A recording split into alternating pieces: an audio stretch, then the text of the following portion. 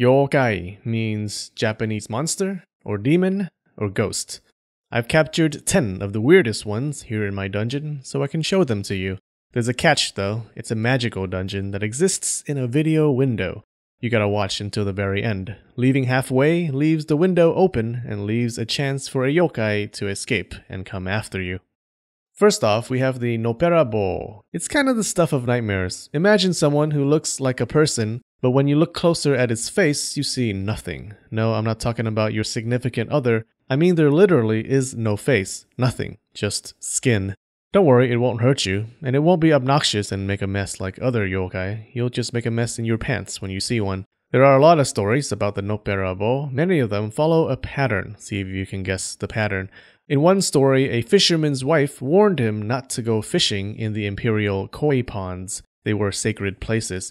But why have a wife if you can't ignore her? he thought. So he did. He went off towards a koi pond in the imperial palace. When he reached it, a woman appeared and begged him not to fish in the sacred pond. Again, he wasn't in the listening mood. So she took her hand and wiped away her own face. Hard to ignore that. The fisherman freaked out and ran home. When he told his wife, she had no sympathy and said she told him not to fish there, and then she took her hand and wiped away her own face. Another tale involves a man walking on a road at night. He came across a young woman crying into her sleeves. He asked what was wrong, but she kept on crying and hiding her face. He kept on asking until finally she dropped her hands and revealed a face as smooth as a baby's bottom. He freaked out and ran away until he reached a soba street vendor. He told the vendor about the smooth faced woman, to which the vendor said, Oh, did she look like this? And wiped away his face. Futakuchi onna, two mouthed woman. Being cheap can be expensive. There once was a man who lived alone. He was a stingy fellow. He refused to marry because it would have meant spending money to feed his wife and kids. But one day he fell in love with a woman. She was perfect. She didn't eat anything. With butterflies in his stomach and dollar signs in his eyes, the stingy man made her his wife. But things weren't all rosy in discount marriage land. The man found his food stores depleting quickly. How was that possible? He didn't eat much, and she, not at all. He began to suspect that his wife was secretly eating the food. He didn't sign up for that. All he wanted was a woman who didn't eat to live. Was that too much to ask? One day, instead of going to work, he decided to spy on his wife. The good news was she never did put his food in her mouth. The bad news? She had another mouth. The stingy man looked in horror as a second, larger mouth emerged from the back of her head. Her hair came to life and picked up rice and food and plunged them into that ravenous maw. She trapped him in a bathtub. Why? Because folktale. Then hauled him up into the mountains. He escaped, though, by hiding in a marsh. There's another story about a stepmother who fed her biological daughter but left her stepdaughter to starve and die.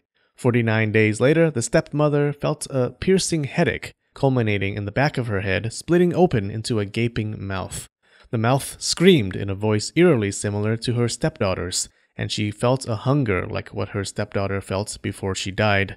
From that day, the world's worst stepmother had to feed her second, always hungry mouth. Akaname, filth licker. These monsters have a long tongue to feed and live off the filth in your home. They inhabit old bathhouses and worn down homes. They love bathrooms and toilets. Men's bathrooms, especially, let's be honest. All akanames who inhabit women's bathrooms die of starvation. The akaname can be used to scare children into keeping their rooms tidy. Live like a pig, and an akaname may make your bathroom its home. Dodomeki, many eyed demon. These demons used to be women who were really good at stealing money. Their immoral acts caused them to be cursed with small bird eyes appearing on their arms. What do these eye covered arms have to do with stealing? Well, there's a Japanese belief that people with long arms tend to steal things. The eyes are a reference to a Japanese copper coin. It had a center hole, which looks like a bird's eye.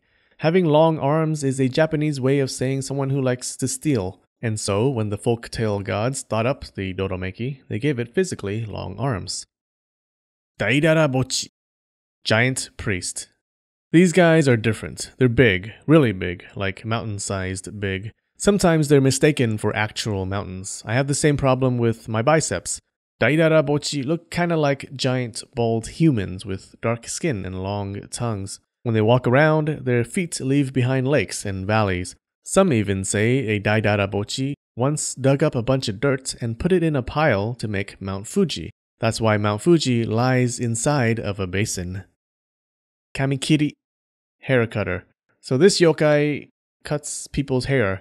You may say, oh, hell yeah, free haircuts. I want that yokai in my house. But no, you don't. It's not gonna give you Taylor's side swept bangs. It's not a hairstylist. No, you're gonna get something like Shaya's pube possum.